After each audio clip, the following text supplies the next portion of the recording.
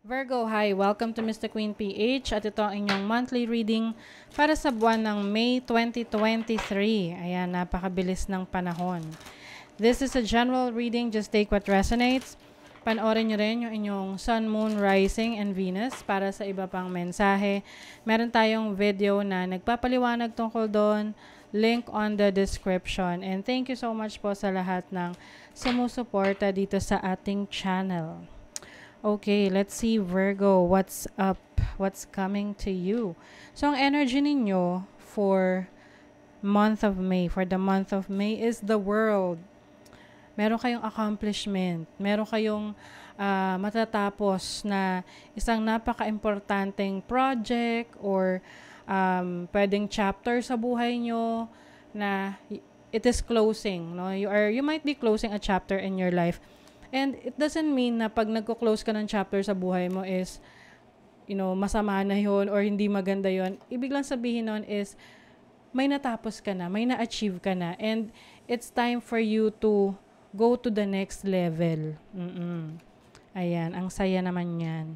So, some of you also, maaring you are wanting to travel the world or to go to different places na you know, malayo sa dati mong tinitirahan. Mm, Wheel of Fortune. Things are changing for the better, Virgo. Five of Pentacles. I think may mga naging financial challenges kayo in the past. And now, things are changing for the better. Kumbaga, alam mo na, meron ka ng lesson na natutunan doon sa experiences na yon And now, dala-dala mo yung lesson na yon no? Para sa present moment mo na magagamit mo rin sa iyong future decision making. Okay?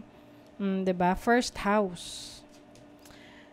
I think naging mahirap for you yung mga nakaraang buwan.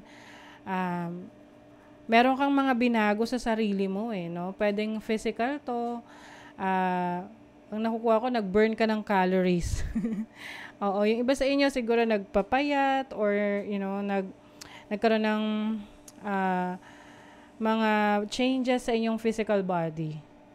Ayan. And now, ngayong, ngayong May, mas confident kayo ngayon, no? Mas uh, malakas yung loob nyo, na humarap sa maraming tao. Mm-mm. So, let's see. Ang challenge mo naman is the justice card. The challenge is how you're, are you going to balance your life ngayong May. Baka kasi marami kang gagawin. Maraming trabaho na naghihintay sa'yo. Knight of Staves. Okay. I, I think kasi meron kang mga plano in the past na ngayon dapat yan gagawin, ngayong May. Pero biglang something will come up, no? Parang may biglang uh, pagbabago na hindi mo kontrolado. Fifth house is about having fun. Okay. So, I think yung mga plans mo to have fun ngayong May, may possibility dyan na may biglang uh, dahilan para hindi yon matuloy. Okay? But it doesn't mean na hindi na talaga siya mangyayari or hindi na siya matutuloy. Magkakaroon lang ng postponement. Okay? So, kumbaga kasi pag may mga ganyan na halimbawa uh, may plano ka tapos hindi siya matutuloy for some reasons, maybe because may emergency or may kailangan kang asikasuhin or hindi nagpanagpo yung uh, yung schedule ng mga taong makakasama mo uh, ano yan eh, it's a protection. I take it as a protection. So, uh, pag mga ganyan, wag kayong, wag sasama yung loob nyo na, halimbawa na delay yung flight nyo, isipin nyo na lang na the universe is protecting you sa mga unfortunate events, no? Kaya, may mga bagay na hindi natutuloy pa. Okay? So, yun na lang yung isipin nyo. It's a protection. Now, uh, you also have opportunities. May mga opportunities ka rin dito. Uh, Knight of Swords energies. I think merong, may, kung meron kang hinihintay na, na message or uh, an email regarding your work, your career, this is going to uh, happen or may marireceive ka na message. With the Seven of Swords, uh, be careful na lang din kung the way na ano, makipag-communicate ka sa taong to. Kasi instead na magiging maayos siya, yung usapan nyo, baka mauwi sa miscommunication. Okay? Halimbawa, um, meron kang uh, hinihintay na business partnership or pwedeng offer when it comes to your money. Tapos, um, kinausap mo and then nagsabi na hindi hindi matutuloy or hindi mangyayari pa muna. Tapos, masama loob mo, inaway mo. So talagang hindi na matutuloy yun kasi inaway mo na, no? So be more uh, parang you have to be more careful sa mga bibitawan mong salita kasi mahirap nang bawiin 'yon. Or hindi mo na talaga mababawi 'yon. So as much as you can um, be more uh, parang ano, maingat sa sa sasabihin mo. You also have the Queen of Pentacles Queen of Pentacles is financial security and financial stability. So, I think ano to, kung like what I mentioned kanina, kung meron mang hindi matutuloy pa, ano siya, it's a redirection. Nire-redirect ka sa another um, another path, or another opportunity na kung saan mas magiging maayos yung kalagayan mo. Halimbawa, meron kang inaplayan no, na trabaho. Gusto mo doon sa company na yon pero, hindi ka natanggap. So, ang sama ng loob mo. Pero yung pala, no, mag-open rin yung isang company na gustong-gusto mo rin. So, may chance ka na makapag-apply doon at doon ka makukuha. Alam mo yun? Kasi kung natanggap ka na doon sa unang company, most likely, hindi ka na makakapag-apply dito sa isa na mas meron palang magandang opportunity for you. Okay?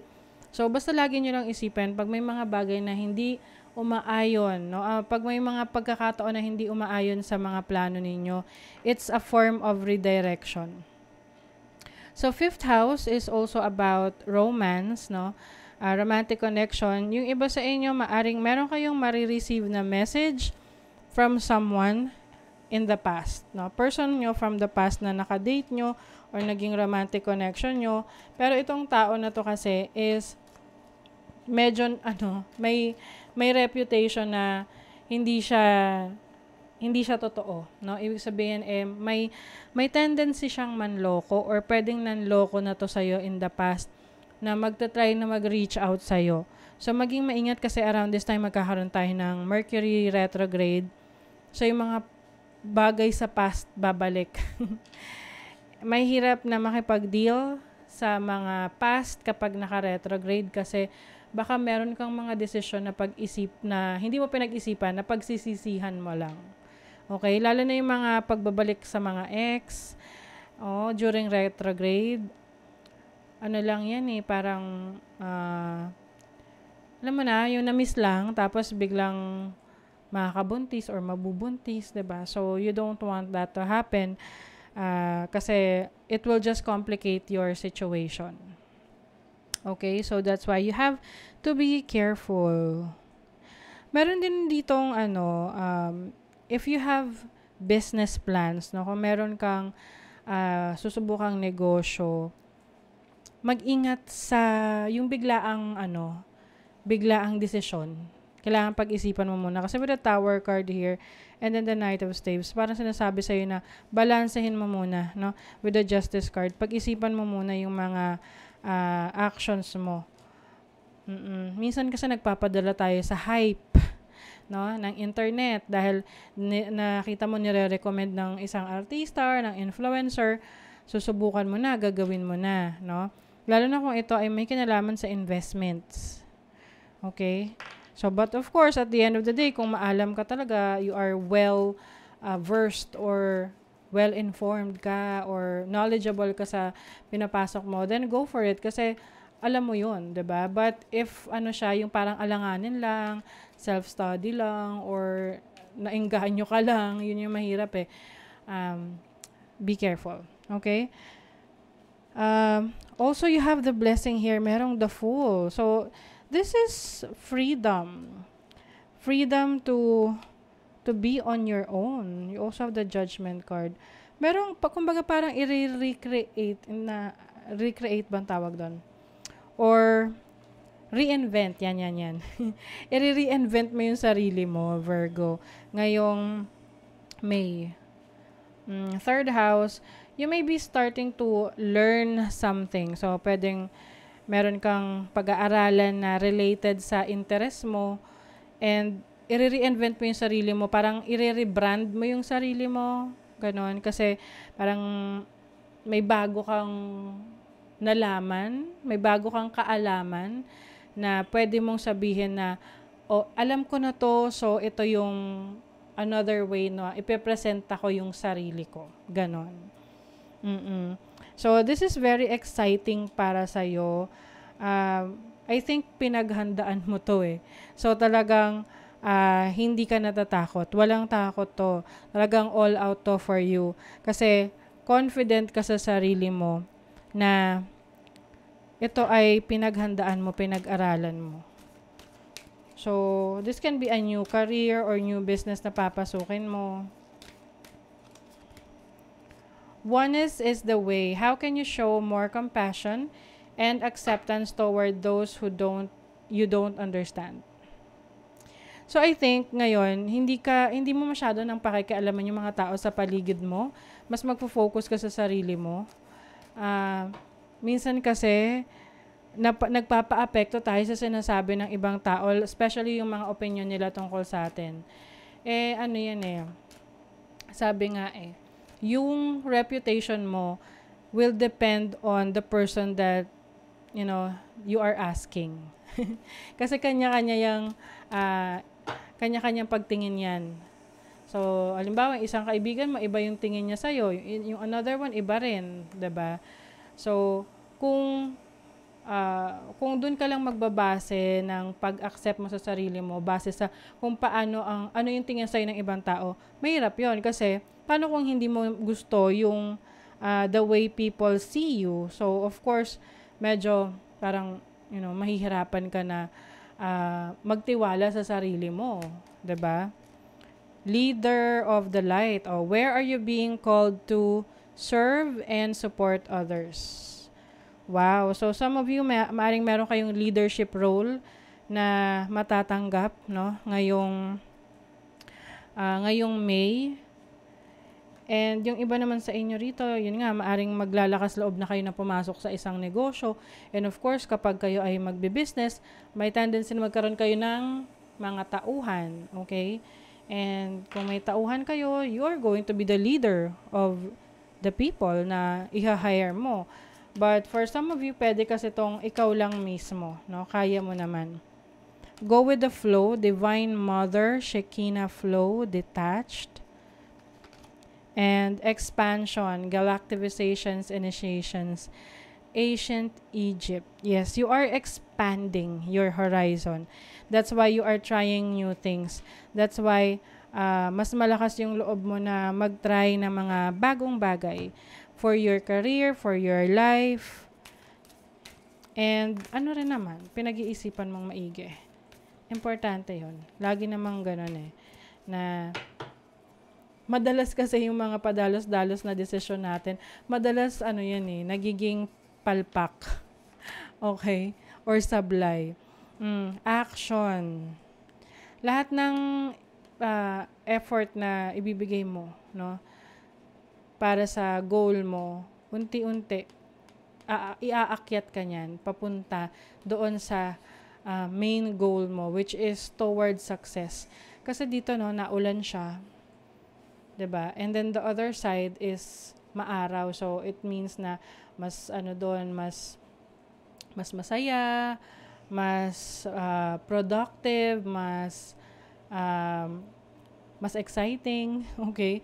So, one step at a time. Sabi nga rito, baby steps are still baby steps and they're better than standing still. So, mas okay na raw na paunti-unti, no, nakakarating ka dun sa, ano, nag elevate ka You know, celebrate small wins.